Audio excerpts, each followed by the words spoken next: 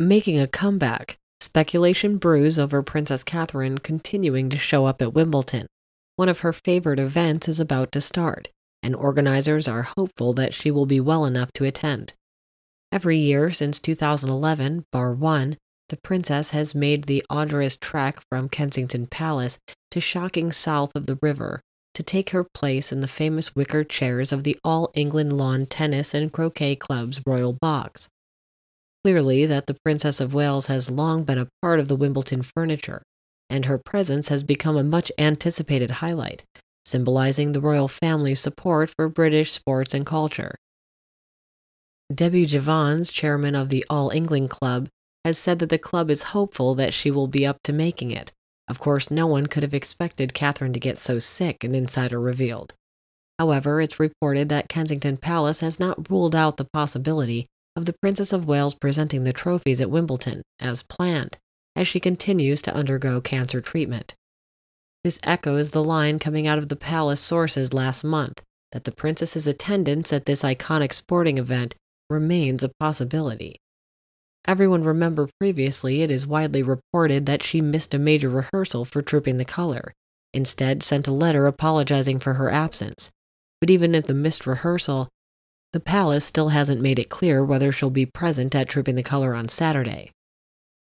Later royal followers around the world were thrilled to see her return to the family fold, as she marked her first public outing in nearly six months since she started cancer treatments in this ceremony. As we know, the Princess of Wales has always been a keen supporter of Wimbledon. Her presence at Wimbledon is almost a tradition in itself.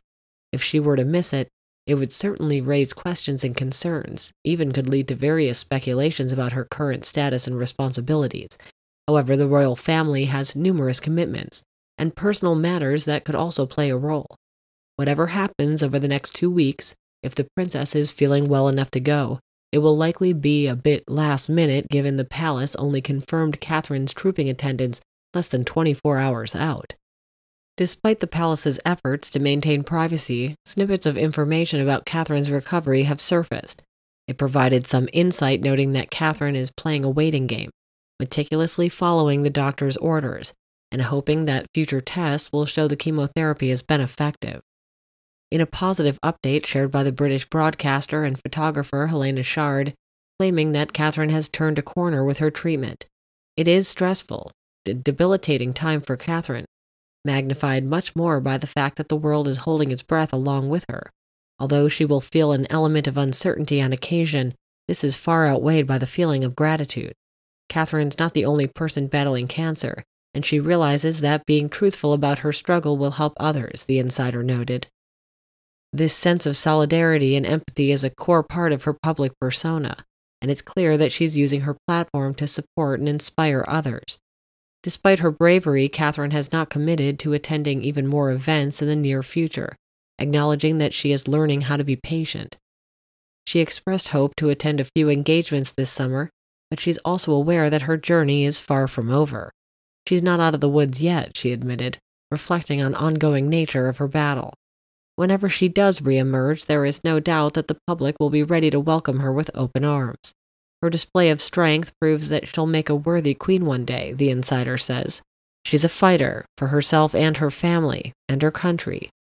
As the public continues to hold its breath, hoping for positive news regarding Catherine's treatment, her resilience and dedication to her family and royal duties serves as a beacon of strength. The outpouring of support from fans worldwide underscores the profound impact that she's had as the Princess of Wales.